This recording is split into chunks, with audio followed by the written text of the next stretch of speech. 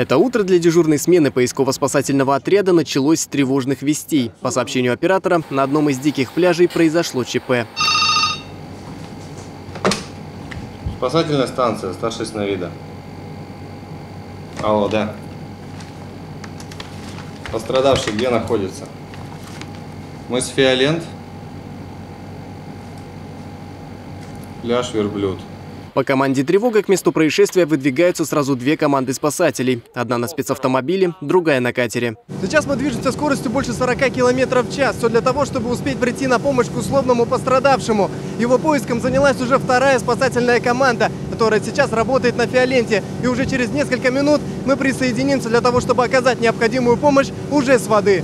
А пока наш катер стремительно приближается к берегу, горноспасательный отряд преодолевает крутой обрывистый спуск. Для этого спасатели используют альпинистское снаряжение, страховочные веревки, зацепы и карабины. На то, чтобы спуститься вниз, найти и осмотреть раненого, уходит всего лишь несколько минут. В роли пострадавшего – тренировочный манекен.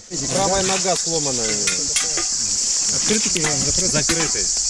Следующая задача спасателей – уложить пострадавшего на носилки и погрузить на катер. Транспортировка морем в данной ситуации позволит сэкономить время и не нанесет дополнительного вреда здоровью. Первую медицинскую помощь условно пострадавшему уже оказали. Остановили кровотечение и наложили воротник шанса. Вся спасительная операция заняла не больше 10 минут. Пульс у пострадавшего есть, поэтому он будет жить. Подобные тренировки, по словам спасателей, проводятся регулярно. Их главная цель – отработать слаженность действий всех служб.